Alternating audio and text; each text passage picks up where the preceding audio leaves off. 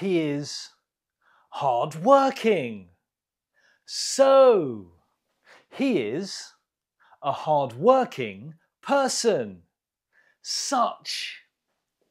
She is a fast driver. Such.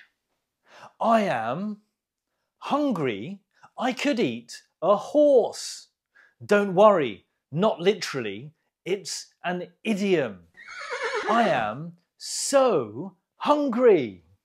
Look at the sentences. What is the rule with such and so?